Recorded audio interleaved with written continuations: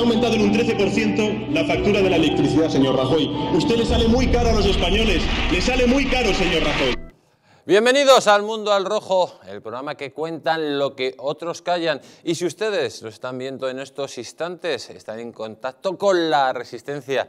Sí, con esa resistencia que jamás se pondrá de rodillas ante el marxismo cultural, por muchas leyes de memoria histórica que vuelvan a poner y que traten de callarnos la boca, amigos. Porque nosotros solo nos ponemos de rodillas ante el Todopoderoso. Ya lo han visto, la subida de la luz en máximos históricos Este era el gobierno que decía que iba a quitar la pobreza energética y no solo no la ha quitado, sino que la ha aumentado, porque es que ahora mismo poner el aire acondicionado te puede costar casi un brazo de lo caro que está la electricidad aquí en España. Pero sin embargo, ¿ustedes ven protestas en la calle? ¿Ven protestas en el Parlamento? ¿Ven algún tipo de actividad? No pasa nada. España es un país tranquilo, donde su gobierno puede hacer lo que quiera y la gente está tranquila, apaciguada. Eso sí, mientras gobierne la izquierda y la ultraizquierda. Porque si hubiera gobernado la derecha, amigos, las calles estarían ardiendo día y noche. Hoy tenemos un programa muy especial, un programa que no podemos dejar de denunciar muchísimas cosas, como esos 300.000 nuevos funcionarios que van a pasar de ser interinos a ser fijos. Pedro Sánchez empieza a preparar su próxima reelección. Son 300.000 funcionarios que pueden que le voten por el premio que le van a dar. Y luego, amigos, esos 300.000 funcionarios generalmente tienen pareja, ya son 600.000. Si 600.000 personas se le puede comprar el voto, seguramente que así se lo podrán comprar. Además, Pedro Sánchez pretende que los inmigrantes que están residiendo aquí en España puedan mm, votar, aunque no se ajusten a leyes. Para ello pretende una reforma eh, constitucional. ¿Qué es lo que pretende Pedro Sánchez? Ampliar el censo electoral para que vayan votando eh, pues los que ellos pretenden que sean de izquierdas. Por ejemplo, esa inmigración magrebí desbordada y sobre todo esa inmigración del África negra que está viniendo pues día sí día también. Por cierto, esta semana otro nuevo asalto, más de 300 personas que han agredido nuestras fronteras, que han atravesado nuestras fronteras y sin que el señor Marlasca haga absolutamente nada. Además, hoy tenemos que hablar de algo muy importante, de un chismorreo que quiero hacerle a todos partícipes. Pedro Sánchez, al parecer Pedro Sánchez, se ha hecho amigo muy, muy, muy especial de una de las ministras del Gobierno de España. ¿Quién será la ministra del Gobierno de España según este rumor que se está haciendo muy, muy amigo de Pedro Sánchez, lo veremos durante el programa. Y también veremos cómo los oscuros delitos o los oscuros crímenes de la señora Hillary Clinton, denunciado en su momento por Donald Trump, se lo dijo en la cara. No se lo pierdan, amigos, porque hoy, como todas las semanas, tenemos a los mejores. Hoy con nosotros, don Roberto Centeno, alias Centenator. También va a estar con nosotros la voz elegante de la televisión española, José Antonio Vera. Y también venido desde los Estados Unidos nuestro querido Ron Aledo, nuestro ex agente de la CIA, y nos va a hablar de lo que está pasando en Cuba. También conectaremos con nuestra querida Carmen Tomás para que nos hable de la actualidad política y, como no, con nuestro historiador de cabecera, don Pío Moa, que nos va a relatar la nueva ley o criticar la nueva ley de memoria democrática. Y para hablar de Cuba, conectaremos con nuestra querida Maybor Petit. Recordarles a dónde nos pueden ver todo el mundo. El ATDT de Matriz, en la frecuencia 48, eh, online en www.eldistrito.es o www.distritotv.es. En redes sociales, en Twitter, arroba Mundo al Rojo, hashtag Mundo al Rojo, en Facebook, en Distrito TV, en Telegram, barra Distrito Televisión, en YouTube, en Distrito Televisión. Desde aquí un fuerte abrazo a nuestra querida Mari Carmen, nuestra moderadora que está enferma y le mandamos como siempre, un abrazo de todo el equipo del Mundo al Rojo para que se recupere pronto. Eh, también nos pueden seguir en Dailymotion barra Distrito Televisión o seguirnos en www.patreon.com barra Distrito TV. Este es nuestro canal patriótico donde ustedes podrán disfrutar de contenidos exclusivos eh, de la cadena y además de alguna forma pueden estar ayudándonos a seguir pues, eh, denunciando las aberraciones de este gobierno traidor. Nos pueden mandar sus mensajes al teléfono de WhatsApp al 669-728673 o si ustedes quieren ampliar información de la cadena, pues manden el mensaje quiero información al teléfono 669-728673. Además, tenemos otras opciones donde ustedes nos pueden seguir viendo. Y estamos hablando de aplicaciones. La aplicación para todos los Android, Ahí ustedes, si tienen teléfono Android, se pueden bajar la aplicación en la tienda Google Play Store. También se pueden bajar nuestra aplicación para los teléfonos, eh, para los televisores Smart TV de la marca LG, Samsung, Panasonic y Toshiba. También ustedes van a la tienda y ahí se pueden bajar la aplicación. Eh, ¿Cómo no? Los Fight TV eh, Steve, en tanto de Amazon como de Google como de Xiaomi. Y en las plataformas mm, de Orange, eh, Yoigo y Yastel, ustedes también se pueden bajar la aplicación de Distrito Televisión y para los amigos de los Estados Unidos y de Hispanoamérica, pues nos pueden ver en Roku, tanto en el Fight Steve como en su plataforma. Y atención que vamos a empezar, vamos a empezar con lo que está pasando en este país. A lo largo de estos primeros 20 años de siglo, pues siempre hemos visto como el Partido Socialista utilizaba el tema recurrente de Franco para hacer política arrojadiza contra la derecha. La verdad que eran muchos miembros de la derecha que no veían que esto no simplemente era una forma de desviar la atención, como lo decía, de los problemas reales, ¿eh? que se sacaba la chistera el conejo del franquismo, no, no. Muchos decíamos que esto era un proceso que quería llevar un camino. Y ese proceso, amigos, se lo voy a explicar. Todo empieza cuando las cortes franquistas se autodestruyen y traen la democracia. Entonces, esa transición a la democracia, con un jefe del Estado elegido directamente por Francisco Franco y donde los franquistas son los mismos que traen esta democracia, pues eh, algunos de la izquierda, pues eso no lo vieron como una, no querían una reforma, querían una revolución. Y querían que la legalidad no viniera del régimen franquista, sino de la República del 36, de la República gobernada por el Frente Popular Asesino del 36. Durante estos 40 años, sobre todo la ultraizquierda, ha pretendido romper el régimen del 78 y deslegitimar la transición. ¿Cómo lo hicieron? Primero con la ley, de memoria histórica.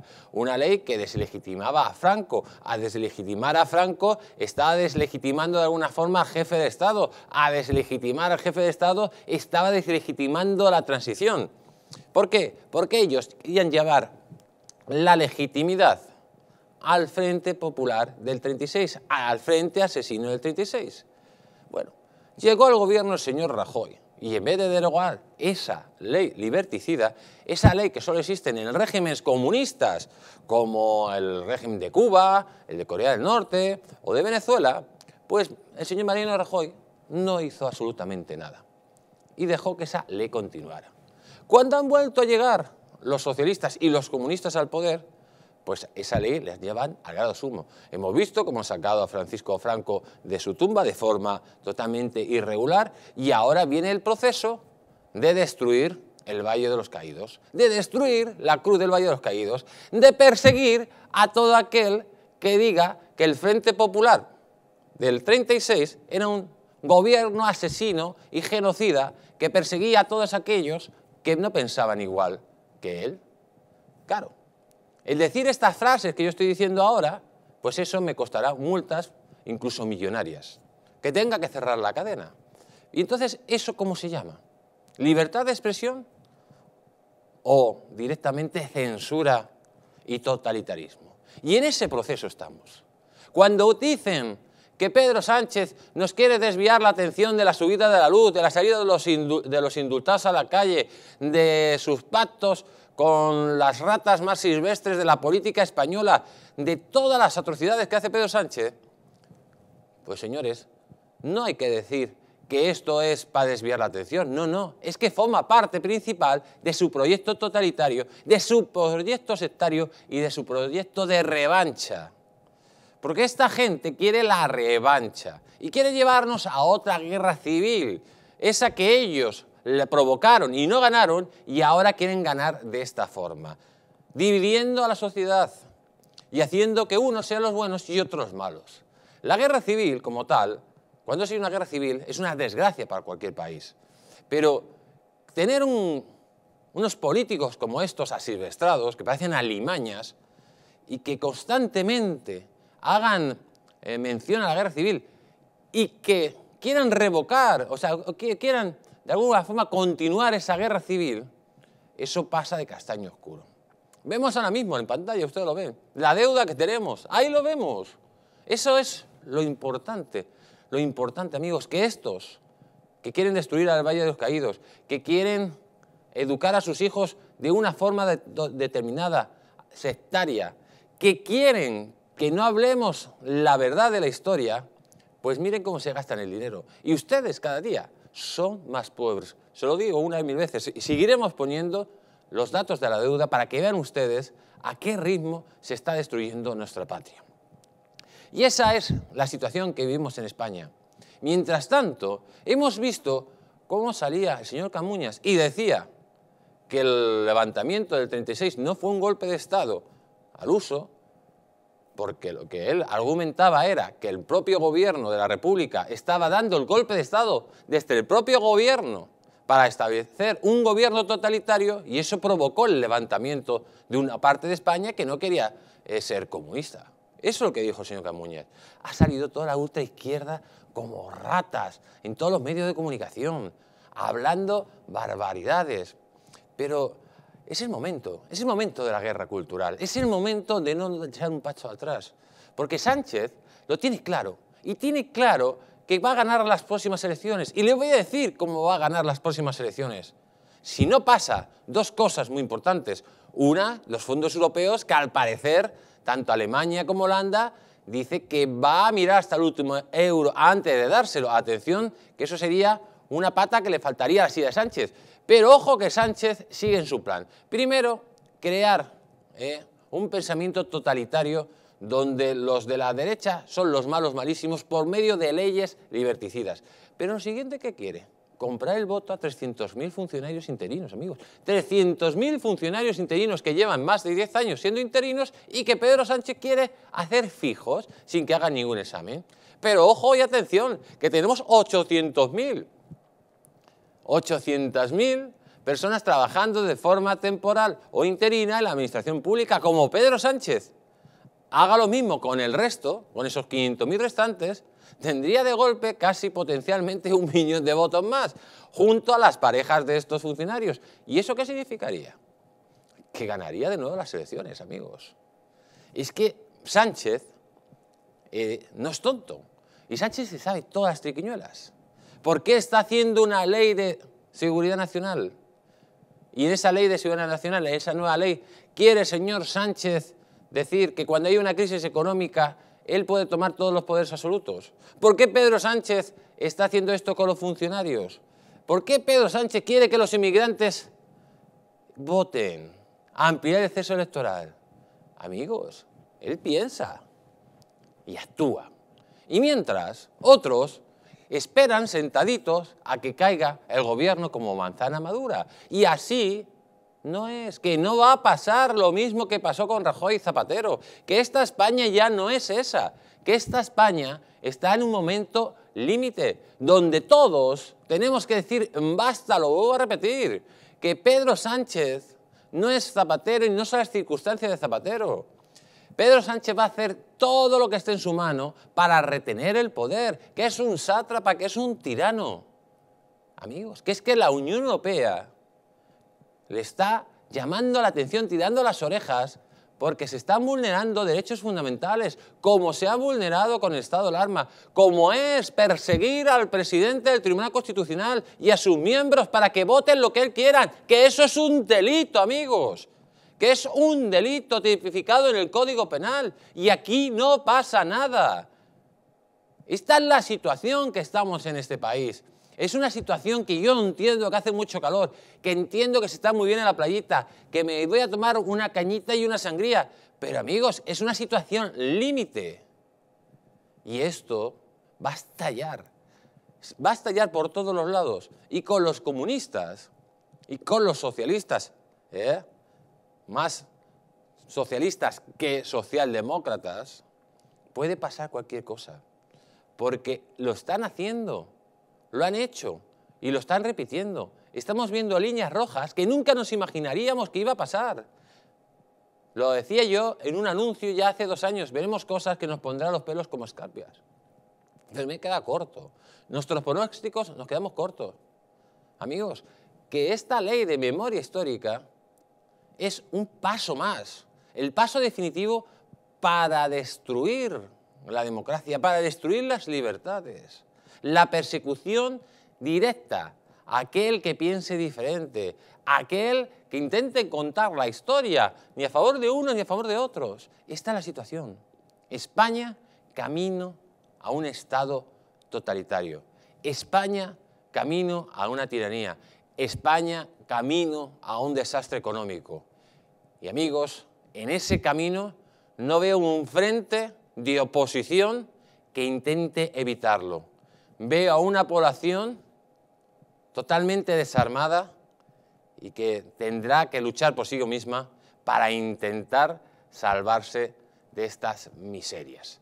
Y recuerden, amigos, que no les engañen, porque la verdadera libertad consiste en estar bien informados.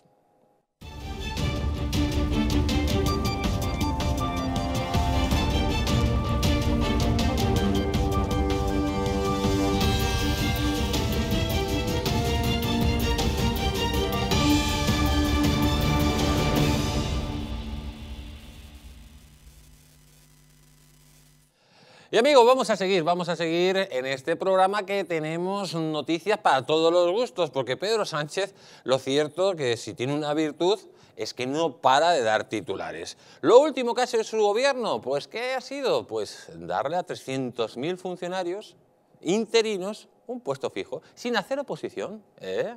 Vamos a premiarlos, a ver si a estos funcionarios le podemos comprar el voto. Vamos a conectar con nuestra querida Carmen Tomás. Buenas noches, Carmen, ¿cómo estás? Buenas noches, pues aquí sobreviviendo a todo esto que, vemos se junta, y lo que viene. Se junta todo, el calor, que no se puede poner aire acondicionado y bueno, y Pedro Sánchez que no para además. ¿eh? Pero no para, no para. Pero bueno, como él está allí viendo a Goldman Sachs, ya está tan contento. Sí, sí, encima le pagamos unas vacaciones gratis por los Estados Unidos. bueno, a conocer Apple, a conocer Netflix y tan contento. Bueno, vamos a lo serio. Carmen, voy a ponerte primero un vídeo donde la ministra de Hacienda eh, pues habla de, cómo van a aprobar o van a convertir a 300.000 funcionarios eh, interinos en fijos y a continuación lo vamos a ir hablando. Se le ve en los casos en los que los interinos eh, eh, hayan eh, permanecido en su puesto de trabajo durante 10 años y esas plazas no se hayan convocado en las correspondientes ofertas de empleo. Lo explico de otra manera para que su señoría me comprenda. De lo que se trata es de aplicar la excepcionalidad que establece el EBEP para aquellos para aquellas personas, contratos estructurales o interinos, que estén ocupando una plaza por un periodo de 10 años y que esa plaza nunca se haya convocado en ninguna. Carmen, después de escuchar lo que dice la ministra de Hacienda, te pregunta a Bocajarro, ¿crees que Pedro Sánchez está directamente comprando los votos de estos interinos, convirtiéndoles en fijos? Bueno, es un asunto que tiene muchas aristas, ¿eh? porque lo primero que hay que decir, en mi opinión, es que cómo es posible que la Administración española tenga a 300.000 interinos, algunos de los cuales llevaban 20 años con un contrato, con otro contrato, con otro contrato, cosa que, por cierto, siempre eh, echan en cara a la empresa, a las empresas. O sea, usted es un tema, tiene a la gente ahí con contratos temporales y uniendo uno con otro. Oiga, ¿se ha mirado usted a sí mismo? O sea, es que, ¿cómo es posible que tenga usted a 300.000 personas? Hay gente que lleva más de 20 años en el mismo puesto de trabajo. ¿Cómo es posible que esto haya ocurrido en la Administración española? Después, la manera de solucionarlo, pues bueno, a lo mejor no es la mejor, pero vamos a ver, ¿qué hacemos con estas personas? Yo, sinceramente, creo que ya Sánchez mm, compra poco, ¿eh? o sea, o vende poco.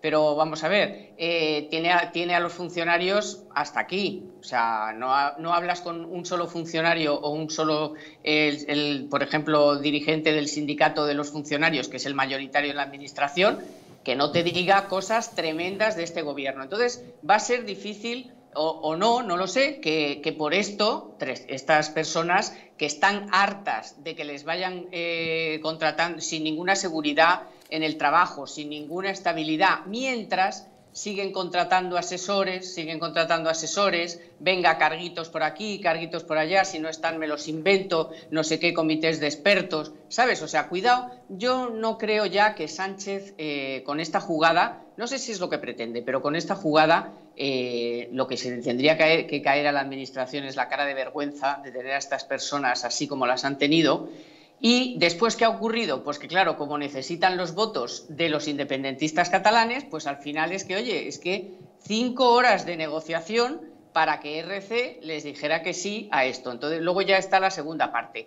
¿Esta es la mejor manera? Eh, está en, no es lo que querían, pero como están en manos del de los nacionalistas, de los independentistas, al final tragan con lo que sea. Pues eso parece. Eso a mí eso me parece más grave que el gobierno esté permanentemente en manos del independentismo, ¿eh? porque esta vez no la ha votado ni Bildu, o sea, era específicamente ERC eh, los, que, los que había que convencer para, porque los otros se le iban y no querían saber nada. Entonces, eso es lo que me parece grave que está pasando en este país, que es que este, a este hombre le da igual a lo que sea, negocia lo que sea con tal de tener esos votos para poder seguir gobernando. Pero la situación personal de estas personas a mí me parece que es para, hacer, o sea, es, es para pegar un grito y no me extraña que haya personas ahí que digan, oye, que yo llevo aquí 20 años y no paráis de contratar a, todo tipo de personal con unos sueldazos que te mueres, que no tienen nada. Por ejemplo, ahora mismo el que ha sustituido a Óscar López en Paradores, pero, pero ¿qué sabe ese señor de una empresa? Pero si no está en su vida, ¿sabes? O sea, esas cosas son las que me parecen más graves que que al final una persona que lleva 20 años en un puesto de trabajo digan, oye, pues ya mira, chico, quédate ahí y no tienes que hacer un examen, porque es que ¿de qué me vas a examinar? De lo que llevo 20, 20 años haciendo para ti por el morro después de, un contrato y otro contrato y otro contrato, ¿sabes? O sea que tiene muchas aristas y yo creo que ya Sánchez vende poco. Eh, te, voy a hacer, te voy a poner otra noticia que dice el PSOE impulsa una reforma constitucional para que voten los inmigrantes residentes sin nacionalizar.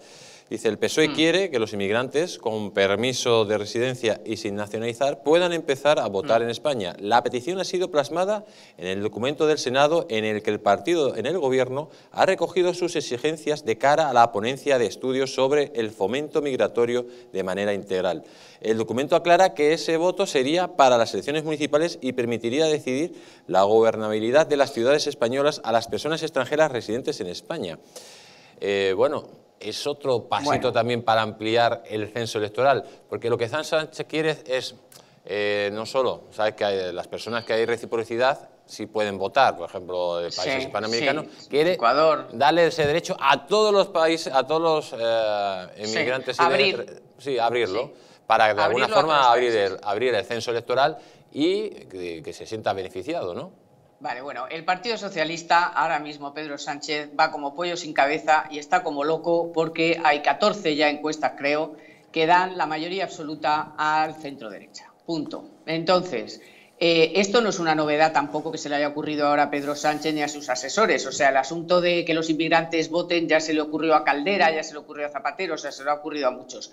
Aquí el problema es que hay que cambiar leyes orgánicas y hay que cambiar la Constitución. Y para eso necesitas unas mayorías que no son las que tiene Pedro Sánchez. Entonces, yo creo que todo esto vuelve a ser marear la perdiz, volver a sacar el tema, eh, eh, sí, que hablemos de ello, pero eh, yo creo que al final choca con eh, la realidad y la realidad es que no tiene votos suficientes este gobierno para cambiar la Constitución porque necesita el Partido Popular y obviamente el Partido Popular no se va a prestar a esto.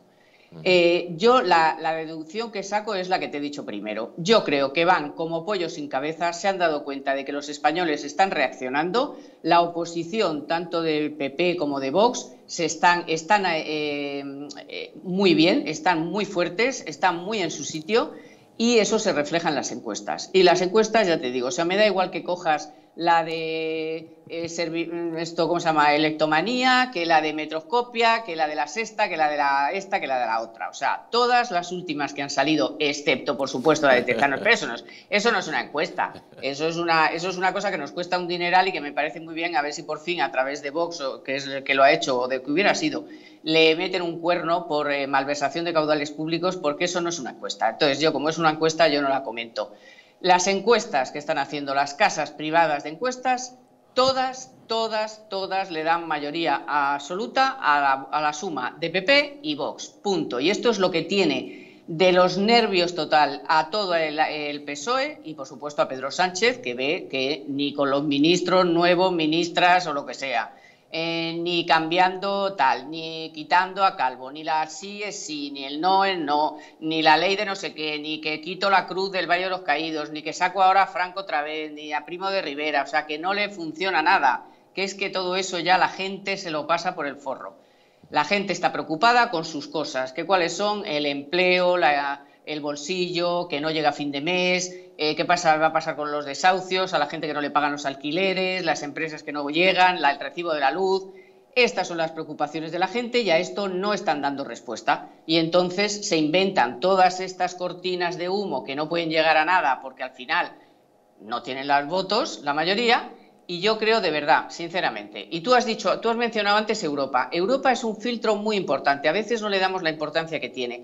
Ah, en Europa lo pasan todo. ¿Y Europa qué más le da? Oye, pues antes de ayer le volvió a repetir al gobierno, oye, ojito con lo que está que pasa con eh, la reforma de los jueces. Por cierto, tenéis muy pocos jueces, ya de paso. Y luego, tres países mínimo que se sepa. Oye, ¿qué pasa con las reformas? Que si no, no vais a recibir un duro. O sea, Europa va lenta, Europa es una especie de cosa que a veces nos pilla un poco lejos, todo este entramado bruseleño, digo, bruselense o como se diga. Eh, pero en el fondo están ahí, están ahí y están vigilantes, porque es que no es Bruselas, es que son países que no están dispuestos a que nosotros hagamos lo que nos dé la gana, no nosotros, bueno, los que nos gobiernan, eh, y ellos a pagarnos la fiesta. Entonces se ponen pie en pared y dicen, no, no, cuidado, eh, aquí, reforma laboral, reforma de las pensiones y perdona, un plan fiscal para reducción de la deuda y del déficit en X años, los que sean. Y nada de eso se, está presentando en serio.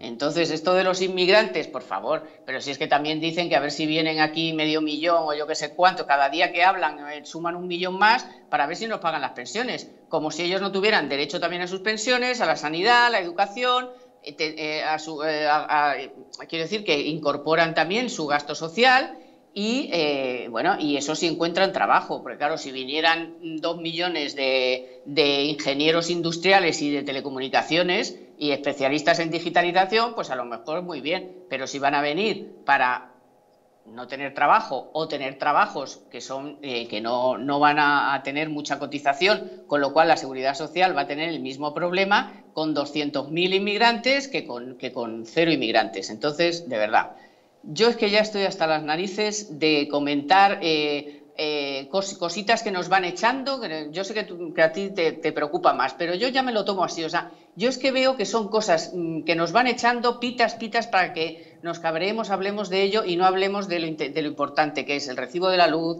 eh, lo que quieren hacer de subir los impuestos en Madrid. Eso sí es importante porque los madrileños no estamos dispuestos a que nos suban los impuestos para que el valenciano o la de Baleares que es una mala gestora y pésima gestora, eh, pueda tener los altos para ella gastar lo que le dé la gana en lo que le dé la gana. No, no, no.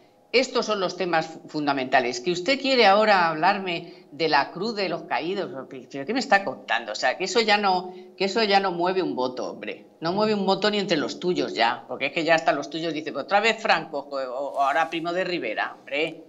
Un poco de, de verdad, un poco de respeto a los españoles, señor. Carmen, muchísimas gracias por haber estado en el Mundo al Rojo. Eh, ¿Te vas a ir de vacaciones pronto o no? Aquí pico y pala, hijo. Te quedas aquí en Madrid. Pues un Buen programa. Un fuerte beso, cuídate mucho. Adiós. Hasta luego.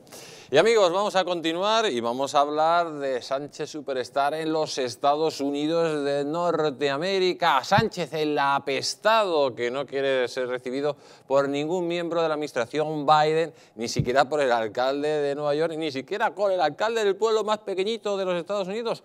No quieren nada. ¿Eh? es un auténtico apestado a nivel internacional. Mm, saben perfectamente que es un sicario de regímenes como Cuba y Venezuela y en Estados Unidos, pues eso, le están recibiendo a algunos empresarios a ver si sacan tajada, como las promesas que le está echando Sánchez, en el sentido de que les está prometiendo los fondos europeos se invierten en España a los empresarios norteamericanos, a costa de nuestros empresarios españoles, ojo es un traidor en toda regla. Vamos a escuchar la siguiente noticia. Dice Pedro Sánchez, persona no grata en la Casa Blanca. Joseph Biden no verá al socialista durante su gira en los Estados Unidos. Pedro Sánchez vuelve a fracasar en su nuevo intento por llegar a Joseph Biden. El presidente del gobierno viajó a los Estados Unidos en una gira para intentar captar a los inversores norteamericanos. Sin embargo, ni el mandatario norteamericano ni nadie de su administración le va a dedicar o le dedicó ni un minuto al líder del Partido Socialista Obrero Español y a su equipo. Con Sánchez como casi eh, nombrada persona no grata desde la Casa Blanca, desde Moncloa vuelven a justificar el portazo de Biden a socialista, en esta oportunidad alegando que se trata de un viaje presidencial que busca situar a España en el radar de los inversores de las grandes multinacionales. Eh, fuentes gubernamentales explican que desde el Ejecutivo ni siquiera han solicitado a la Casa Blanca que se produjera este tipo de encuentro político, por la importancia que le dan al carácter económico de la gira y a la agenda del primer nivel que tendrá el presidente en este sentido. Agenda de primer nivel, amigos, se va a reunir con lo de Disney y con lo de Netflix, un nivel increíble. Sin embargo, fuentes cercanas a la administración de los Estados Unidos indican que se trata de una excusa ya que eran conscientes de que Joseph Biden no tiene ni ha tenido ningún interés en reunirse con el sátrapa de Pedro Sánchez. ¿Y por qué Biden está marcando constantemente distancias, amigos, distancias? Porque existe ese menosprecio. Vamos a contar los motivos. Existen varios aspectos por los que los Estados Unidos dan un paso atrás en su relación con el gobierno de España. Uno de los más potentes son los nexos que vinculan al PSOE, Podemos, con uno de sus principales enemigos, el régimen de Nicolás Maduro. Es importante recordar que durante la legislatura de Sánchez han ocurrido episodios que han generado un gran malestar en la Casa Blanca, como ha sido la fuga del narcogeneral del chavismo Hugo El Pollo Carvajal a tan solo días de su extradición a Estados Unidos y presuntamente con el apoyo del CNI donde estaba Pablo Iglesias. No en vano, la Embajada de los Estados Unidos en Madrid ha ofrecido una recompensa de 10 millones de dólares por cualquier información que ayude a la captura del pollo Carvajal, pasando por encima de las autoridades españolas. A los episodios incómodos que para Estados Unidos se suma también la polémica reunión entre José Luis Ábalos, ministro de Transporte, con la número 2 del régimen chavista en el aeropuerto de Barajas, en el bautizado de Sigay, así como la fuga de Pablo Iglesias en Bolivia para reunirse con el ministro de Asuntos Exteriores de Nicolás Maduro, Jorge Arriazaga. Todo esto está sumado al apoyo de sus socios de Podemos a la dictadura de Nicolás Maduro, apoyando al nuevo embajador y cónsul chavista en Madrid con un encuentro dentro del Congreso de los Diputados y a las FARC, grupo terrorista que afecta a uno de sus aliados más importantes en América Latina, Colombia. Finalmente, sin olvidar la influencia de José Luis Rodríguez Zapatero en América Latina, quien se ha convertido en uno de los principales defensores de las dictaduras de izquierda con el apoyo legal del ex juez español Baltasar Gazón, quien, entre otros, defiende al testaferro de Nicolás Maduro detenido en Cabo Verde y a la espera de su extradición a los Estados Unidos de América. Pues esta es la situación, amigos. ¿Por qué Joseph Biden, ni Donald Trump, ni nadie que gobierne en Estados Unidos, a no ser que eh, llegara un partido marxista-leninista, pues va a hacer caso a Sánchez? Porque Sánchez, ahora mismo, el gobierno de España, España teniendo a estos tipos en el gobierno, es un enemigo de los Estados Unidos. Lo hemos visto en la crisis con Marruecos. ¿Con quién se ha ido Estados Unidos? ¿Con España con Marruecos? Con Marruecos, que es un país fiable. Nadie se fía de este trilero. Nadie se fía de un sicario del narcocomunismo cubano y venezolano. Esa es la realidad. Y por eso tiene que ir el gorrilla a ver si saca algunas monedas recorriendo en Estados Unidos a ver quién le hace caso. Con entrevistas pactadas donde le recuerdan constantemente por qué Joseph Biden no le recibe o le recuerdan el ridículo que hizo en la reunión de la OTAN. Esa es la situación, amigos.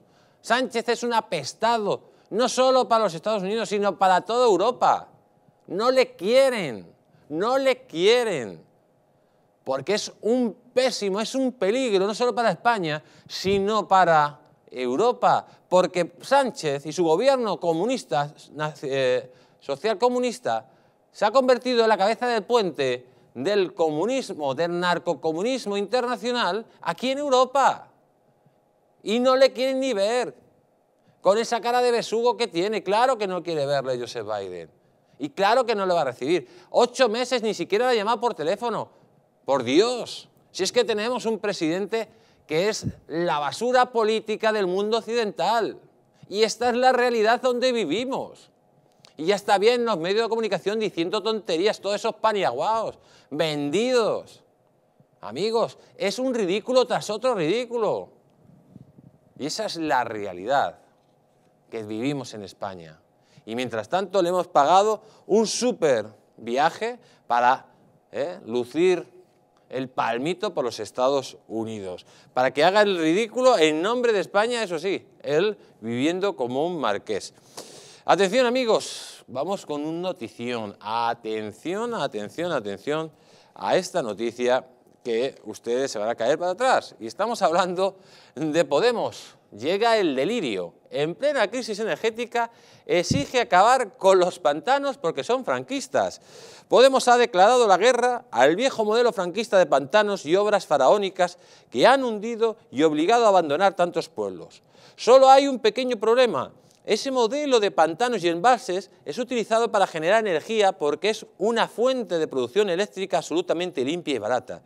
Y España paga en estos momentos el triple por el coste de la energía que hace solo un año. El cierre conllevaría un encarecimiento aún mayor del recibo de la luz. La cruzada verde y antifranquista de Podemos ha producido un delicado cruce de cables, los pantanos sirven para generar energía y contar con garantía de suministro de agua, pero efectivamente tienen que estar en algún sitio, a poder ser en la naturaleza, si no es complicado que puedan existir. Y eso a Podemos no le gusta, le parece antiecológico y antipueblos. Además, se trata de una infraestructura especialmente impulsada y desarrollada en época del general Franco y, por lo visto, según Podemos, hay que abandonar todo lo realizado por el dictador incluso su modelo de pantanos y embalses. Por todo ello, Podemos defiende abandonar la política de grandes embalses y avanzar hacia una gestión inteligente, eficiente y ecológica del agua. Yo me he quedado loco, igual que ustedes. O sea, aquí no cabe un tonto más. Porque estos, estos, sí, miren, que les estamos pagando sus no sueldos brutales, a costa de que nos estemos quedando endeudado cada día más. Miren ustedes la deuda.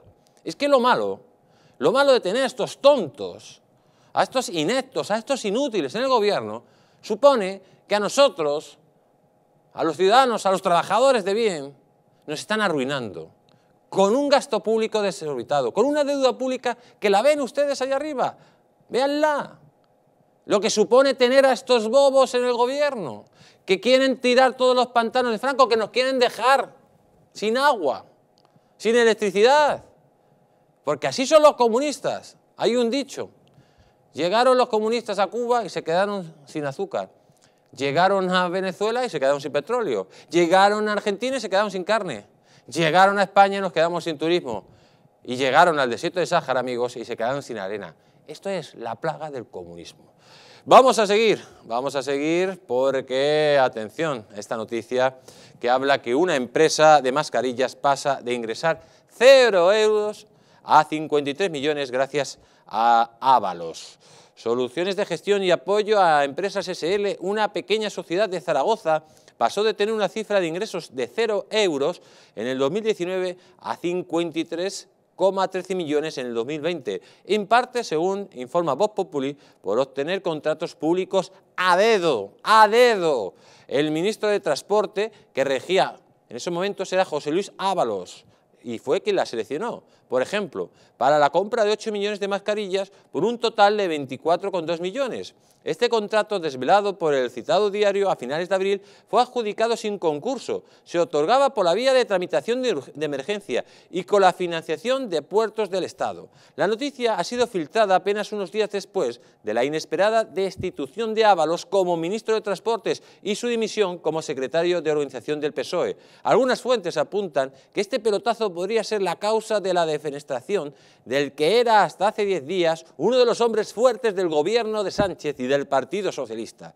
Días después, el organismo que dirigía Ávalo compraba a esta empresa, atención, 5 millones de mascarillas más, por valor de 12,5 millones, sin añadir más información a este contrato de emergencia. Y más tarde, Interior detallaba la compra de otro millón de mascarillas, por valor de 3,4 millones el departamento dirigido por Grande Marlasca se escudaba señalando que esta adquisición se debe a la mediación del ministro de Transporte. Amigos, blanco y en botella. Blanco y en botella. ¿Eh?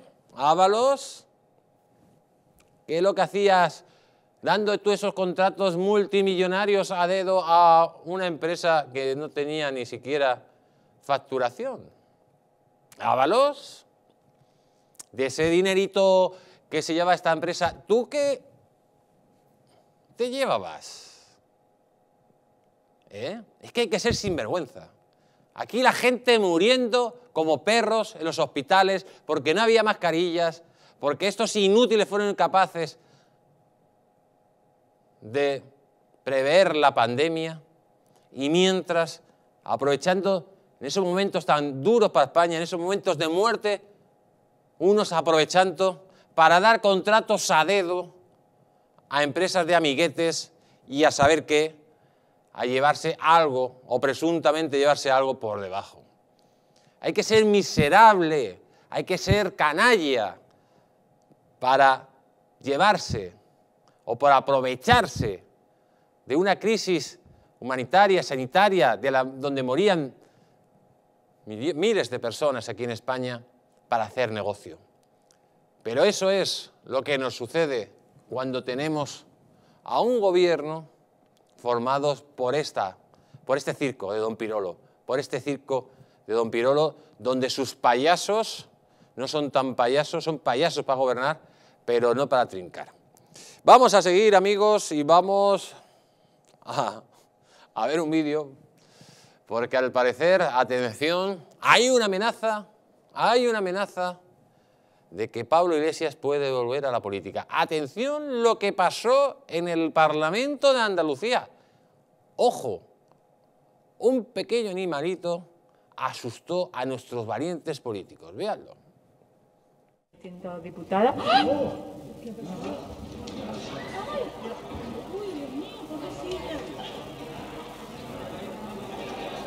Discúlpeme, señoría.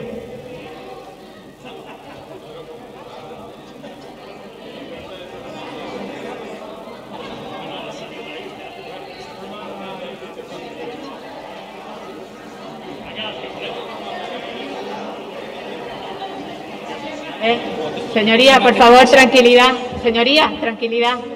Tranquilidad. Ahí ven a nuestros valientes políticos ¿eh? unos encima de otros y asustados porque había una pequeña rata en el salón de plenos de la Asamblea de Andalucía.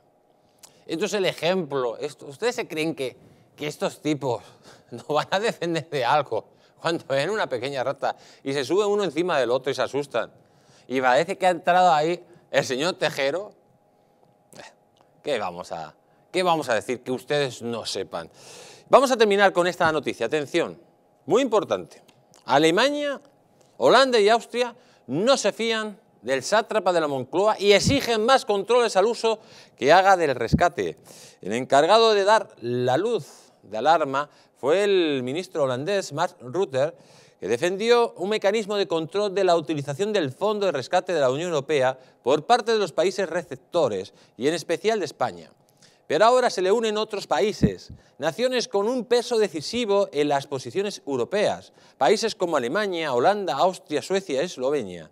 Y todos ellos han debatido ya la conveniencia de aplicar un precepto del reglamento de la Unión Europea 2021-241 del 12 de febrero de 2021, en el que se deja claro que la liberación de los fondos de rescate dependen del cumplimiento satisfactorio por parte de los Estados miembros de los hitos y objetivos pertinentes que figuren en los planes de recuperación y resiliencia. Atención, que Pedro Sánchez ha prometido la llegada de un rescate europeo y lo ha incluido en los presupuestos generales del Estado, que aún no ha cobrado. Se trata que ha metido en los presupuestos del Estado 140.000 millones de euros teóricamente asignados a España como fondos de rescate frente al COVID y que deben abonar los Estados miembros si se cumplen determinadas condiciones. Sánchez negó la condicionalidad del fondo que ya está totalmente confirmada. Pero es que ahora, además, Alemania, Holanda, Austria, Suecia y Eslovenia no se conforman con la aprobación de los planes y presupuestos reclamados a España. Y por ello acaban de instar un artículo del Reglamento Europeo del febrero de 2021 para exigir un seguimiento detallado del uso y de la eficacia de las medidas puestas en marcha por cada país receptor de ayudas. Ojo, ojo al dato, amigos. Ojo al dato de lo que estamos hablando. Lo veríamos hablando que esto puede ser decisivo, que sea la Unión Europea quien le dé, quien le dé el toque definitivo a este tío para que caiga del poder. Porque si hemos dicho que es un apestado en Estados Unidos, no se crean que no es menos apestados en Europa. No quieren a un gobierno comunista, no quieren que en el gobierno de España el secretario general del Partido Comunista sea un secretario de Estado, o que haya tipos como Garzones, o Yolanda Díez, o el propio Sánchez en un gobierno, más cercanos a Maduro y a Cuba que a los países civilizados de, de Europa. Y los países, los grandes países, le han dicho a Sánchez que va a haber un control absoluto de esos 140.000 millones de euros. Y si no hace las reformas que tienes que hacer, Pedro Sánchez, no te van a dar ni duro. Y tú en tus presupuestos has metido esos fondos europeos que no vas a tener si no haces las reformas. Porque tus reformas no van en el sentido que dice la Unión Europea, tus reformas van en el sentido contrario. O sea, te dan un préstamo con unas condiciones y tú eres incapaz de cumplirlo. Y sin embargo vas engañando a unos y a otros al estilo trilero, porque solo que eres un trilero y nos vas a dejar sin fondos y nos vas a dejar sin España y nos van a convertir este país en un país bananero, porque eres un inútil y eres malo. Eres muy malo. Y esas reformas hay que hacerlas, si no, no recibiremos esos fondos. Pero amigos, ¿qué voy a decirles? Antes de nada, me gustaría recordarles que estamos en un proyecto muy bonito, donde estamos colaborando, que se llama Protege tu Vida. Un proyecto que pretende salvar a 7.000 personas de una muerte aquí en España. Por eso, amigos, escuchen este mensaje con mucha atención. Y sería muy bueno que ustedes simplemente llamaran al teléfono que a continuación le vamos a poner, por lo menos para informarse y para no solo salvar su vida, sino la vida de los que más quieren. ¿Sabían ustedes que hay 30.000 muertes en España por infartos? Que por cada minuto transcurrido tras un infarto las posibilidades de sobrevivir disminuyen un 10%, que una ambulancia de media tarda en llegar a nuestra casa entre 10 a 12 minutos, produciéndose 3 de, cada 4 infartos en nuestro hogar, Nace en España el proyecto Protege tu vida con el objetivo de salvar más de 7.000 vidas al año. Ahora, salvar tu vida depende de ti. Crea en tu hogar un espacio cardioprotegido con el mejor desfibrilador y de uso fácil. ¿Qué precio pones a tu vida? Llama ahora al teléfono 900-730-061 o entra en www.protegetuvida.eu y recibirás un 30% de descuento. Verás que proteger tu vida cuesta muy poco, amigos protejan su vida, llamen y no se arrepientan cuando les pueda pasar o le dé un ataque a un ser querido. Nos vamos a publicidad y atención amigos que va a venir con nosotros don Roberto Centeno, está calentito, está muy calentito. También va a estar con nosotros don Pío Moa para hablar de la nueva ley de memoria histórica, de esa aberración que pretende dividir España en dos y pretende recuperar el régimen del del 36, ese régimen sanguinario dirigido por el Frente Popular. También hablaremos de los planes de Sánchez para controlar por los medios de la Ley de Seguridad Nacional las noticias fake y sobre todo controlar a los medios independientes. Y cómo no, hablaremos de esa supuesta violación. ¿Se acuerdan ustedes de esa violación de tres chicas norteamericanas en Murcia por medio de que habían sido violadas por tres afganos? Al final, amigos, fue todo un montaje de las niñas para cobrar un seguro. Y más tarde, amigos, sabrán ustedes quién se ha convertido en la amiga, en la amiga muy, muy, muy, muy especial del presidente del gobierno.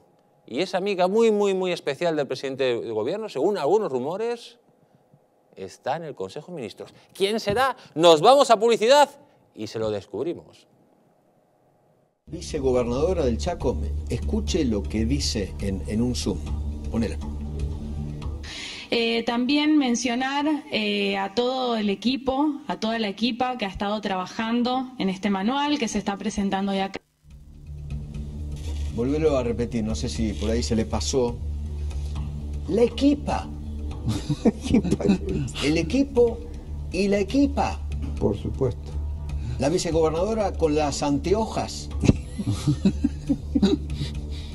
la equipa. A ver, ponele, ponele, eh, también mencionar eh, a todo el equipo, a toda la equipa que ha estado trabajando en este manual que se está presentando ya acá.